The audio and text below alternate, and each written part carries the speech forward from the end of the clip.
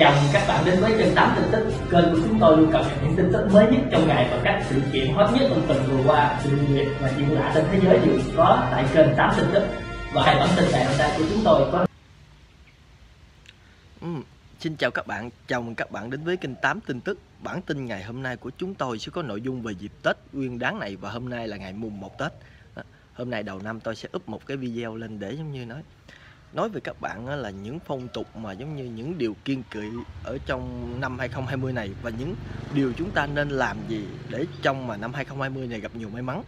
Cái thứ nhất vào mùa 1 Tết này đó thì nhiều người vẫn cho rằng là nên mặc những quần áo màu đỏ đó, nhiều đó sẽ làm tạo nên may mắn vì màu đỏ là màu sắc luôn mang đại may mắn cho những chủ nhân của nó cho nên báo mạng từ sáng giờ vẫn hay nói là cứ mặc trang phục màu đỏ và đặc biệt là ăn những món ăn mà có tính mà giống như là hướng về những điều tốt. Ví dụ như canh khổ qua này các bạn đó, bánh chưng bánh giò đó, hoặc là đậu để làm đâu đậu đó.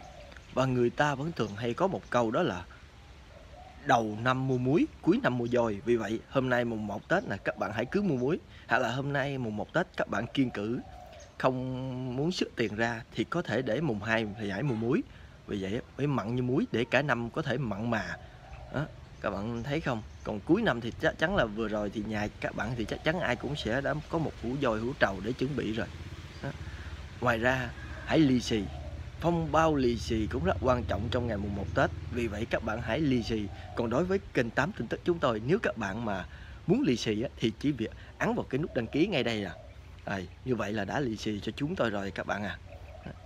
Để ủng hộ cho tinh thần của chúng tôi trong năm 2020 sẽ làm những video clip hay và ý nghĩa hơn đó.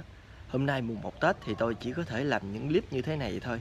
Đó, tại vì bây giờ về quê rồi thì điều kiện máy quay đâu cũng không có chỉ có một cái điện thoại không. Rồi các bạn thấy không? Phong cảnh Tết đây. Nhãn thọ đồ chân rất là đẹp các bạn à. Đúng không? Rồi cảm ơn các bạn. Nếu thấy video này hay và bổ ích hãy chia sẻ rộng rãi để cho mọi người cùng xem. Và đừng quên ấn vào cái nút đăng ký ngay đây để cập nhật các tin tức mới nhất. Cảm ơn các bạn.